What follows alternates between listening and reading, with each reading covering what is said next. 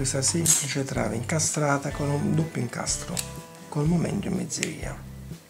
Ci si propone di determinare le reazioni vincolari e quindi di tracciare i diagrammi delle caratteristiche della sollecitazione interna, eventuale sforzo normale taglio al momento.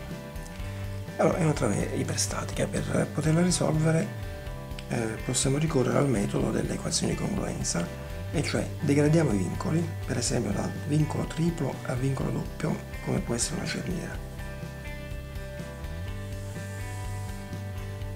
E applichiamo però sui vincoli le reazioni relative al vincolo che abbiamo soppresso, quindi il vincolo per esempio che impedisce la rotazione che è qui al momento in A M con A, in B M con B.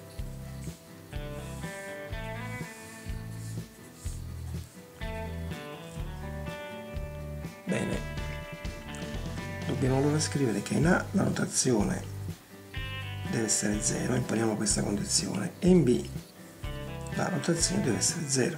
Queste sono le due equazioni di congruenza che aggiunte alle tre equazioni cardinali della statica consentono di risolvere il sistema di equazioni connesso alla struttura e in effetti vedremo che queste due equazioni possono essere risolte eh, prima e i valori che otterremo li inseriremo poi nelle eh, tre equazioni cardinali della statica avendo determinato i valori di m con a e m con b. Questo schema possiamo dividerlo in tre schemi per semplificare le operazioni. Un primo schema caricato solo col momento m che chiamiamo schema 0 un secondo schema caricato solo col momento incognito M con A ed è lo schema 1 e infine un terzo schema caricato solo col momento M con B che chiamiamo schema 2. Il primo schema si deforma in questo modo, come è facile immaginare, perché il punto C tende a ruotare in senso orario. Quanto valgono le rotazioni A in B? ci aiutiamo con un prontuario, il prontuario ci dirà che la rotazione in A e in B vale m per L su 24 volte in una trave incastrata doppio incastro con un momento in mezzeria. Però attenzione, la luce del prontuario prevista al prontuario è L, quindi nel nostro caso è 2 volte L, quindi dovremo aggiungere qui L per 2, il che ci consente anche di semplificare e di scrivere m per 2 su 12 volte EI senso della rotazione antioraria quindi negativo. Allora, queste due equazioni diventano φ con A nello schema 0 più ficona nello schema 1 più ficona A nello schema 2, tutto questo è a 0 e analogamente per il punto B. Dunque, ficona nello schema 0 varrà meno m per l su 12 volte e i. Nello schema 1 la deformata della trave è questa. La rotazione in A sarebbe M con A per L su 3 volte I come da prontuario se la luce fosse L, ma la luce è 2L quindi dovremo aggiungere per 2. Antiorario segno negativo meno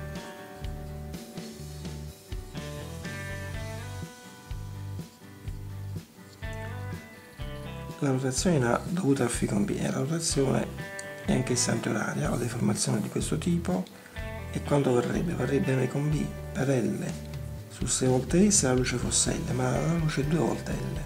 Possiamo anche semplificare, quindi avremo meno M con B per L su 3 volte E. Tutto questo è uguale a 0. Passiamo al punto B, la rotazione in B per effetto di m è identica che nel punto A, quindi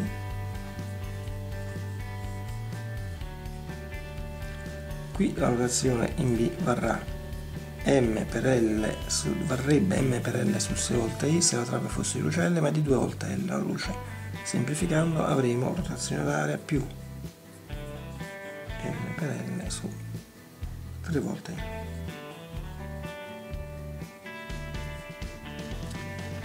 In questo caso invece la rotazione varrebbe m con b. Attenzione questa m e m con a in questo caso la rotazione sarebbe m con b per n su 3 volte i se fosse di luce L la trave ma è 2 volte L quindi rotazione oraria più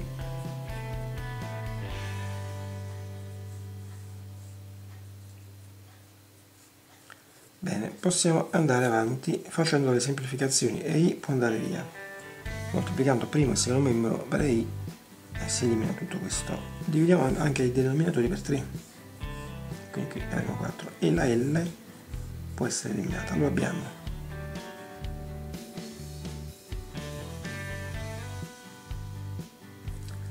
Anche qui, secondo l'equazione eliminiamo i, dividiamo tutto per 3, dividiamo tutto per L, quindi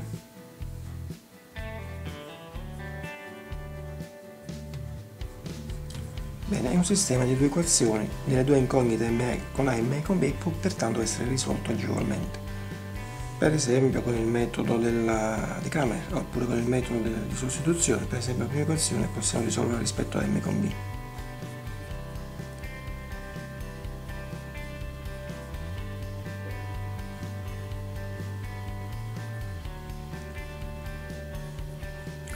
Questo valore lo andiamo a sostituire qui, quindi possiamo scrivere.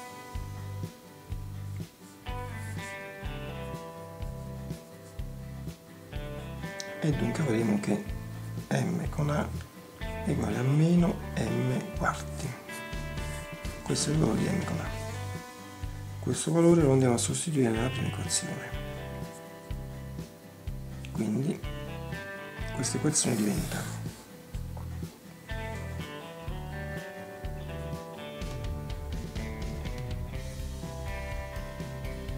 questo è l'altro valore che cercavamo.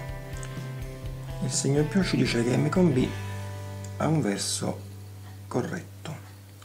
In, per quanto riguarda m con a, il segno meno ci dice che il verso di m con a non è questo, ma è bensì il verso opposto, questo verso qui.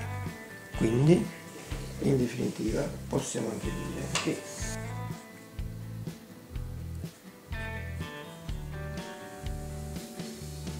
il nostro schema di calcolo diventa questo.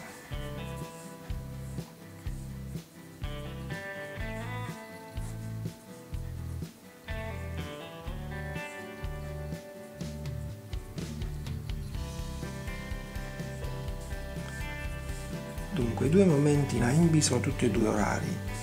E vogliamo verificare se questa cosa è congruente con il nostro esercizio. Guardiamo un attimo la trave a due incastri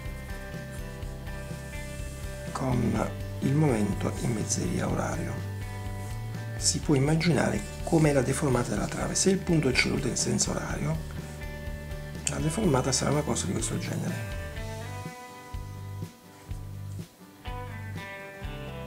Che cosa osserviamo? Che qui all'estremo B, dove c'è l'incastro, la, le fibre tese sono sopra, quindi la reazione dell'incastro presumibilmente avrà un senso orario.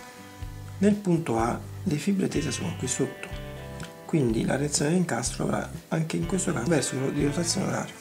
Quindi i due versi di rotazione dei momenti incogniti m con A e m con B che valgono m quarti sono corretti, cioè congruenti con quella che è la deformata presunta della nostra trave ma a questo punto possiamo ricorrere alle equazioni della statica, cardinali della statica per determinare le altre reazioni vincolari. Le altre reazioni vincolari diamo un termine, indichiamole geneticamente con y con a, y con b, x con a e x con b. Scriviamo le equazioni, sommatorio della x è uguale a 0. Sommatorio dei momenti rispetto al punto, per esempio A, è uguale a 0.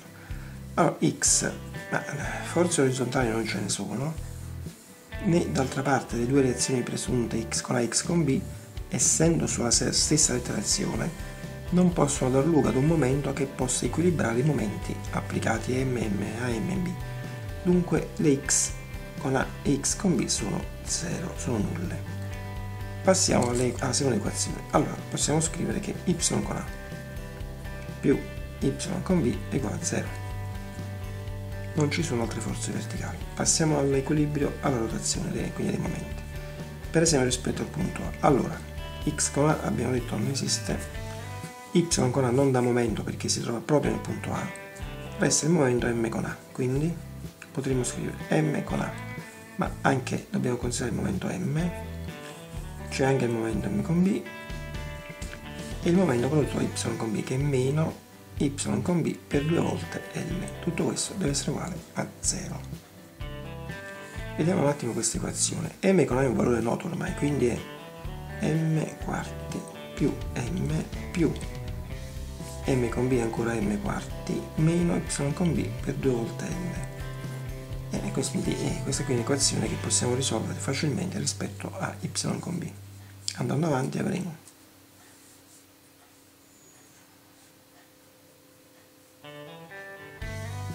questo è il valore di y con segno positivo vuol dire che il verso che abbiamo scelto è quello giusto, quindi y con b vale 3m su 4 volte L. E questo valore lo andiamo a sostituire nella seconda equazione. E vediamo cosa otteniamo.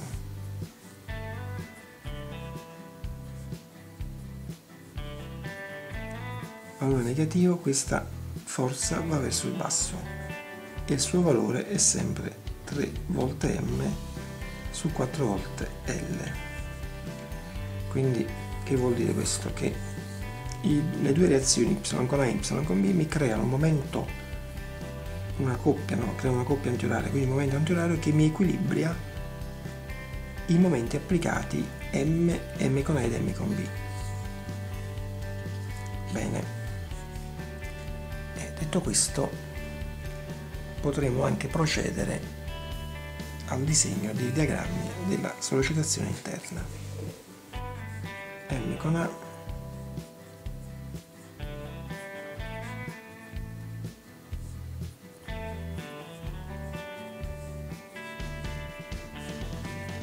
e le reazioni verticali Y con A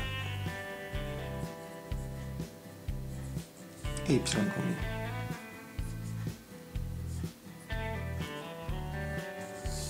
Proviamo a tracciare il diagramma del taglio.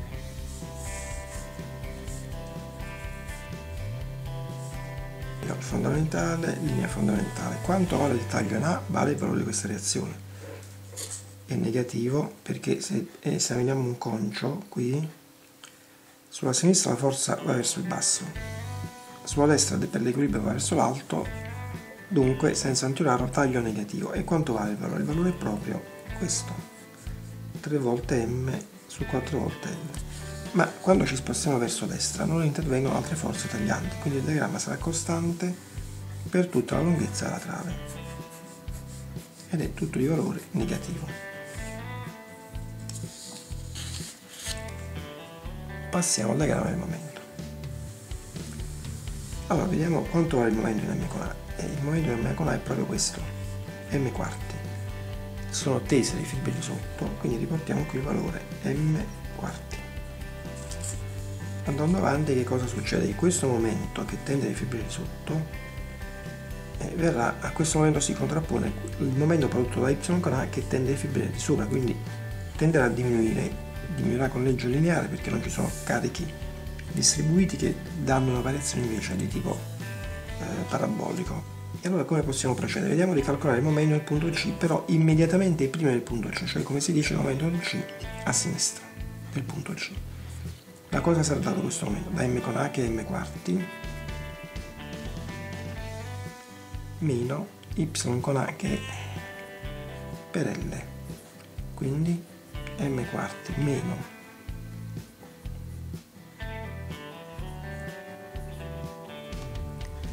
e questo è il valore nel punto C a sinistra negativo, quindi vuol dire che dovremo inserire questo valore nella parte eh, superiore del diagramma, per esempio qui.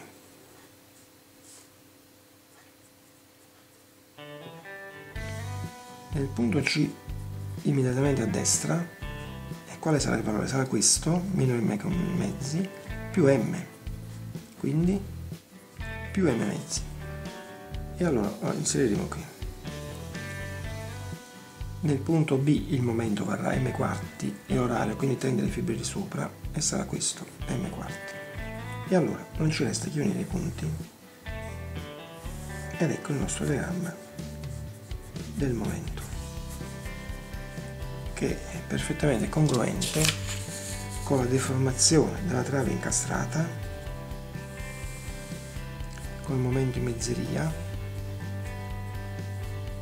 che è una deformazione di questo tipo. Ricordando che il diagramma del momento è disegnato dalla parte delle fibre tese e noi vediamo che in questo intervallo le fibre tese sono sopra in quest'altro intervallo le fibre tese sono sotto.